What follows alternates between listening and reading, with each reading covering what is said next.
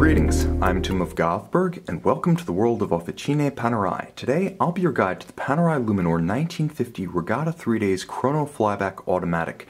47mm in polished and satin finished titanium, the PAM 526 pays homage to Panerai's long-standing association with nautical themes, most notably its modern association with luxury yachting and the Classic Yachts Challenge for vintage yachts in particular. Now the watch features a Panerai bellows style or caoutchouc black rubber strap with a traditional satin finished titanium Panerai pin buckle. True to history in its imagery and size, it also makes for easy adjustment on the fly during hot or cold weather activity or inactivity as wrist size may change.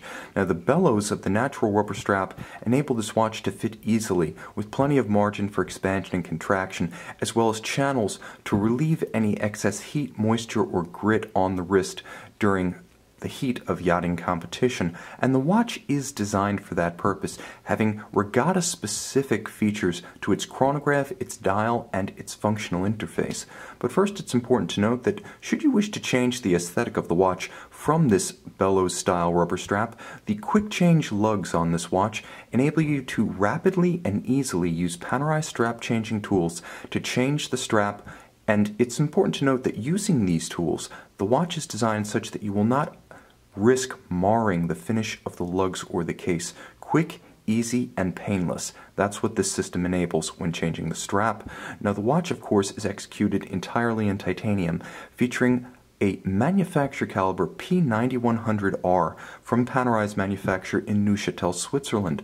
The watch features traditional column wheel function actuation for a crisp, tactile, and audible response.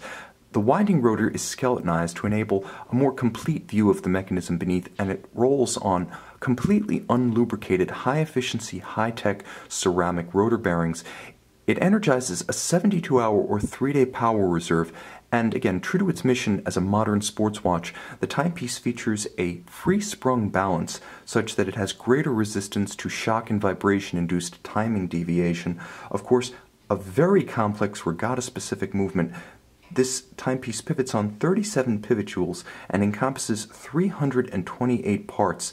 It also features a unique zero reset function such that when you unlock the device protecting the crown and you pull the crown out to extremity, you can see how the constant seconds hand at 9 o'clock has both stopped and zeroed itself to the index at 12.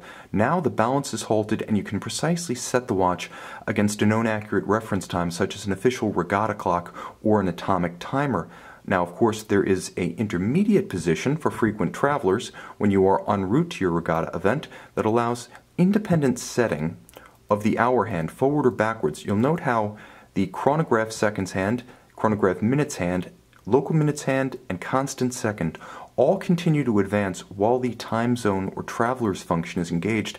It does not affect balance amplitude, nor does it affect isochronism or precision.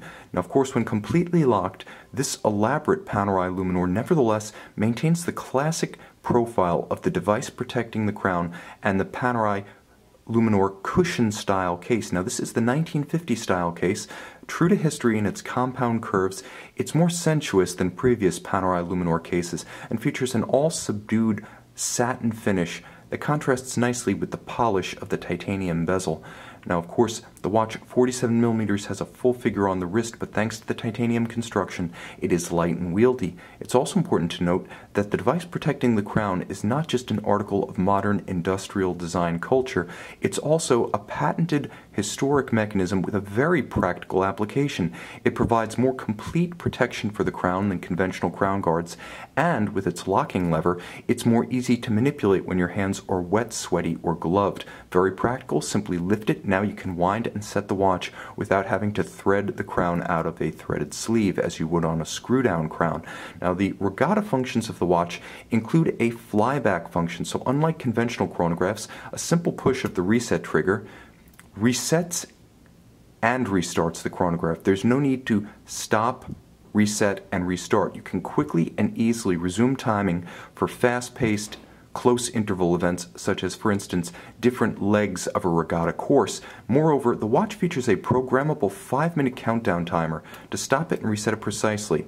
Using the pusher, at 4 o'clock, you can advance the radial minutes hand back any distance between 1 and 5 minutes to specifically match the time until your start during regatta competition.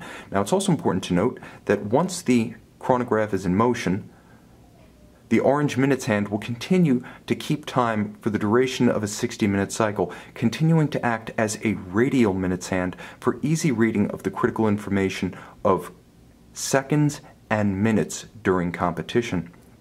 Of course, 100 meter water resistance ensures that this nautically themed watch is just as at home below the waves as above. You can learn more about this PAM 526 and the entire Panerai family of model lines on our website, govbergwatches.com.